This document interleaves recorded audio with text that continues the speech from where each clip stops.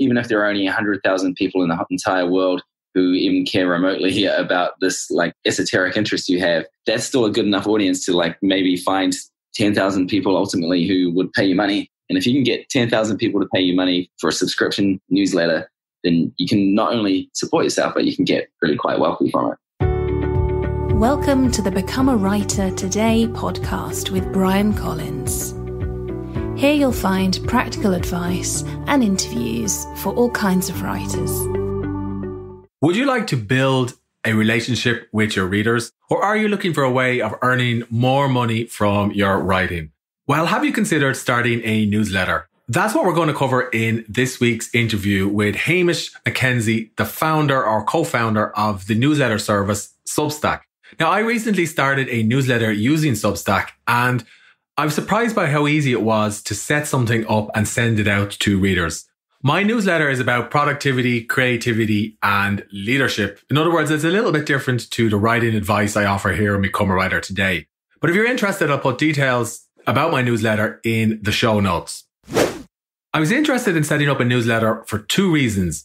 Firstly, back in 2008 and 2009, I was a washed up technology journalist in Ireland and I was struggling to pay the bills. And back then I always questioned if it was possible for a writer to earn an income. In fact, I was on social welfare for a while and I had to rely on my wife to earn an income while I minded the kids. And that was a pretty demoralizing and depressing experience. And I pretty much gave up on journalism after that. And it was a long roundabout journey that got me back into writing or writing online. But even today, I wouldn't consider myself a journalist, so to speak. But one of the things I am interested in is how writers earn an income. So I was struck when I came across Substack and read its mission, which states they want to make it simple to start a publication that makes money from subscriptions. The second reason why I'm interested in newsletters is because of something I learned from the entrepreneur, author, Gary Vaynerchuk.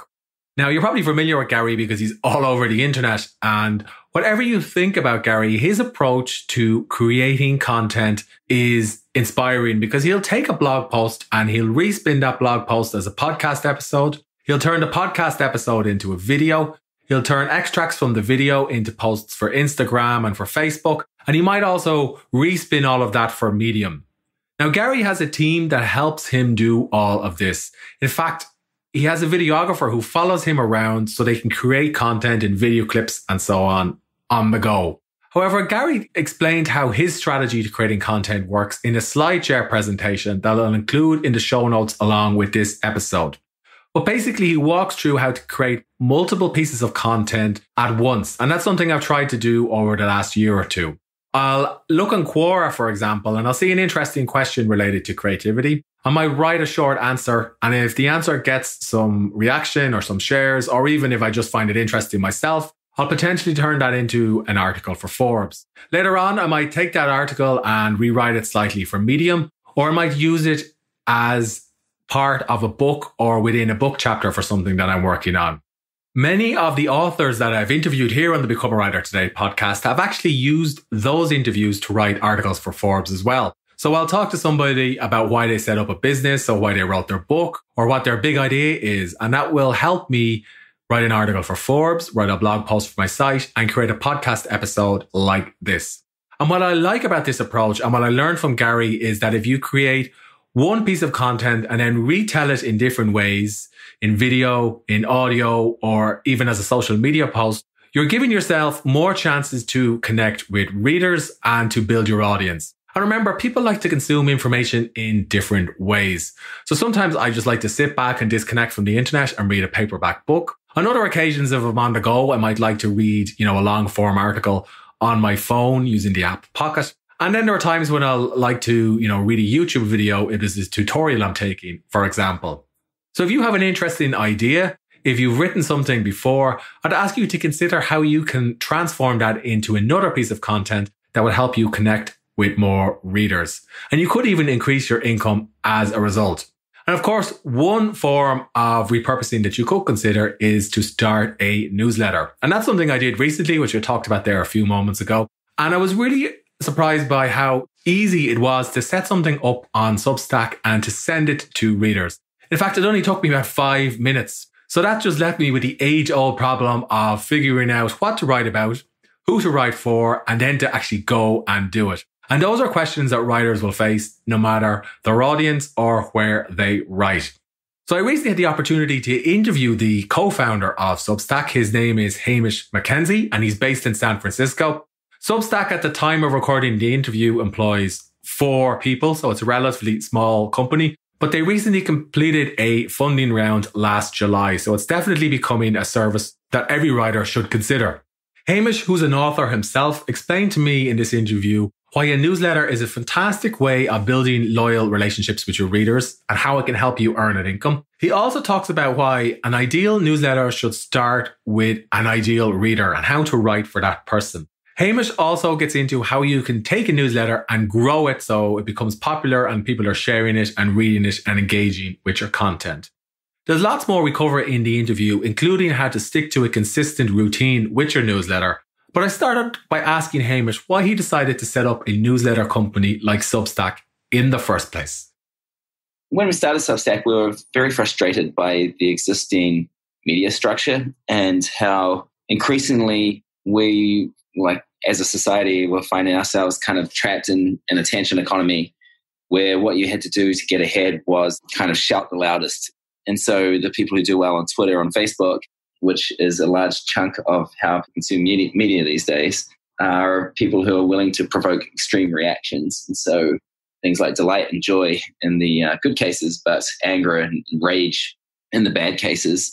And we've gotten to this position where the social media platforms have become so compelling and so effective that it's becoming harder for other media organizations to succeed. So newspapers are shutting down journalists are leaving their jobs and we're getting into this terrible situation where kind of society was tearing itself apart and continues to because we are finding it harder to have reasonable conversations online and and to find like kind of trustworthy storytelling and information sources. And so we figured that part of the whole problem was that all the rules of the game are set up to create this race to the bottom type of game. And that is going to be true for as long as kind of online advertising is the dominant part of their revenue mix. And so we wanted to provide an alternative, an alternative to that, where readers pay writers who they trust directly. And so subscriptions we believed were a good thing because they're recurring payments and they help writers be independent and uncompromised and help writers do the best work where their customers are their readers, not an advertiser.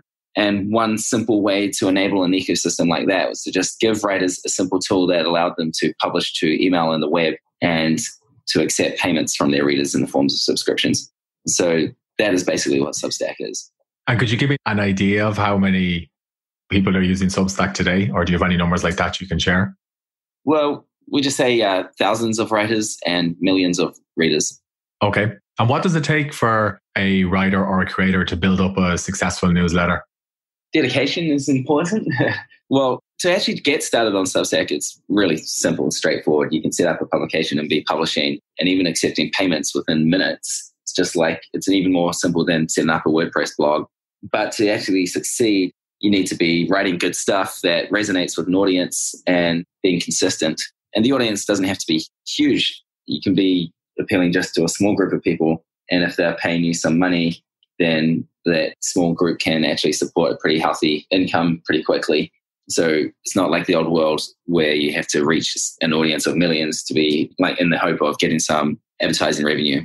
But, you know, 100 people paying $100 a year works out to about $10,000 a year, which can be good side money yeah. and build up from there. Certainly a nice side income. Um, so what is the best way to build up a a list of subscribers. Like in the past, people have tried things like guest posting and Facebook ads and so on for building blogs, email lists. So is it the same approach for Substack or should people try something else? Social media is pretty central to helping people grow their list. And that this is one thing that social media does really well. It helps people share good stories. And if you write something that's good and appeals to an audience in a way that rewards their attention rather than exploits it, then we'll find out on Substack that they can sign up onto your mailing list because they trust the content so much and they trust the writer so much. And then once you've got someone on your mailing list, they can help spread the word to others and you can grow by word of mouth. But often it's a piece that will break out on social media on Twitter or LinkedIn or Facebook, or people will share it a lot online, or some blog will link to it, or some media publication will pick up on it. And you'll see big spikes in your growth in, of your mailing list when you have a piece that does the rounds like that. And at what point should somebody who set up a Substack blog consider monetizing it or Substack newsletter?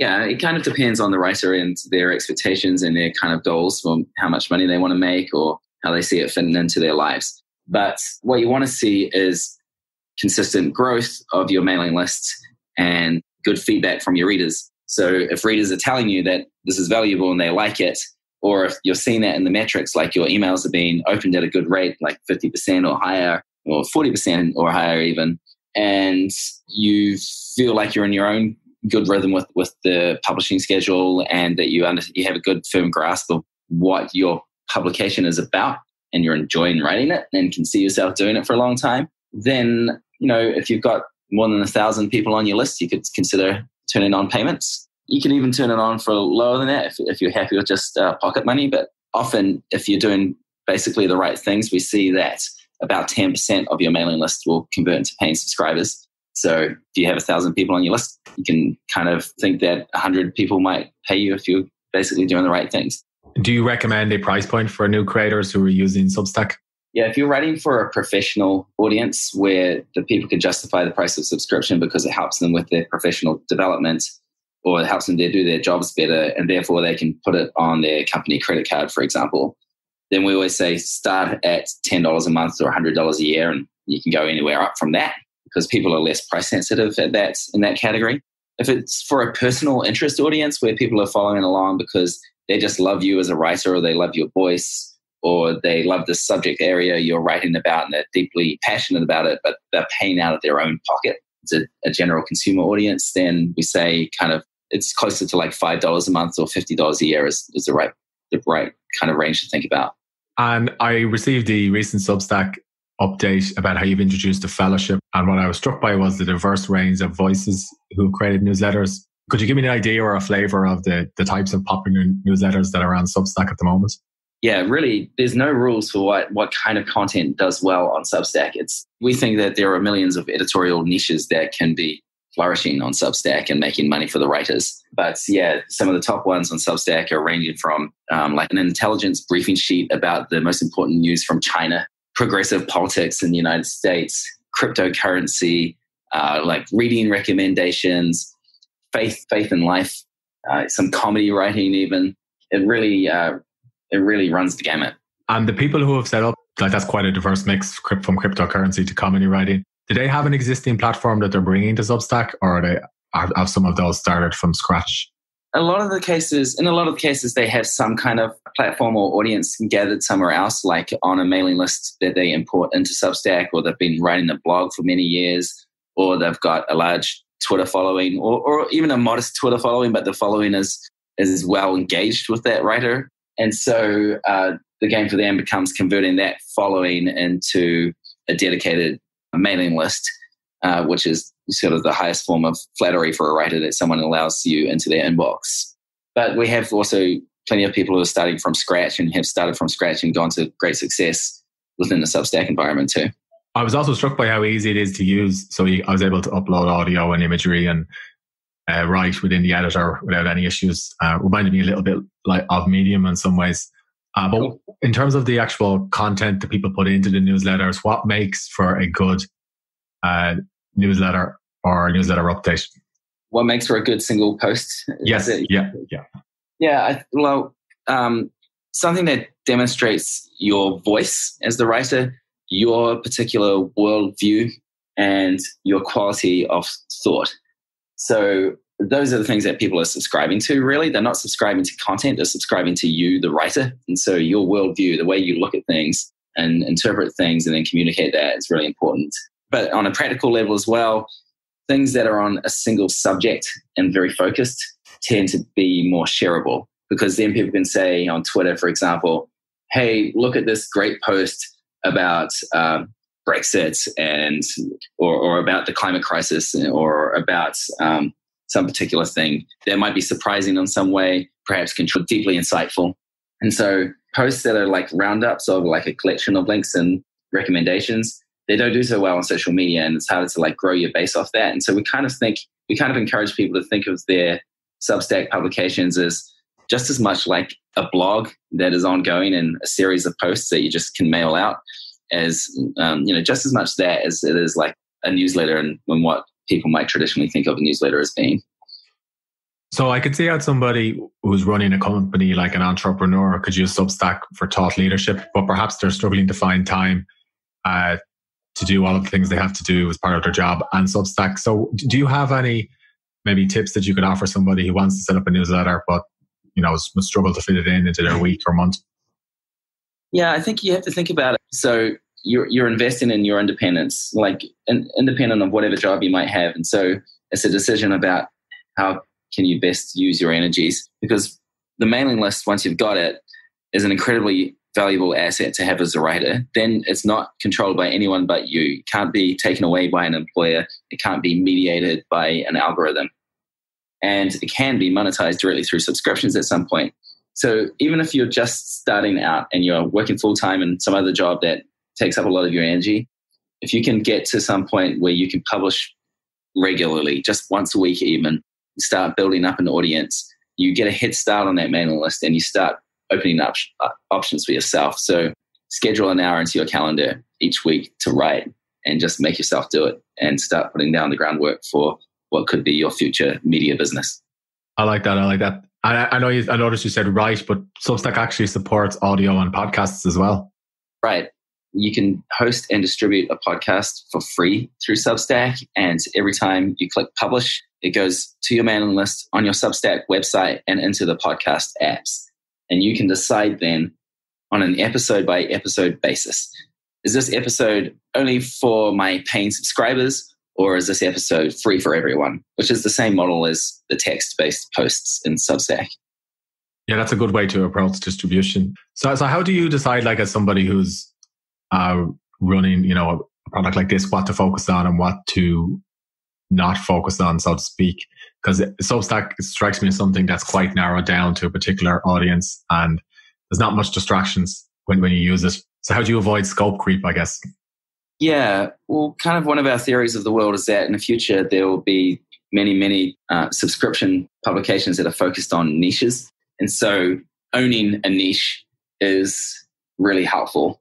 And so when you're setting out and figuring out what your publication is going to be, like figuring out that area of authority that you control and that you become known for is really important. And so often, actually, it's not just like I'm the expert on skiing. It's like I'm the expert on skiing and something else. So the intersection of skiing and aging, for, for example, is one I've been talking to someone about recently. They want to write a, a publication about um, skiing for people who are over 60. And you know, a lot of people are writing about skiing and a lot of people are writing about aging, but not that many people are writing about the intersection of those two things. And that is a market opportunity. So it sounds like they've narrowed down to their ideal reader or subscriber. Yeah, and you and you shouldn't be you shouldn't be going for like something that you think is going to have an audience of millions necessarily. You you should be going for an audience that might be smaller but more devoted. And so even if there are only hundred thousand people in the entire world who even care remotely about this like esoteric interest you have, that's still a good enough audience to like maybe find 10,000 people ultimately who would pay you money. And if you can get 10,000 people to pay you money for a subscription newsletter, then you can not only support yourself, but you can get really quite wealthy from it. Yeah, it's good advice. And what about just to return to what we talked about a few minutes ago about social media becoming quite noisy? You know, some people say that email is on the way out. I'm, I'm presume that's something you don't believe in, but is that something you're actually seeing when in terms of engagement with people who are running newsletters?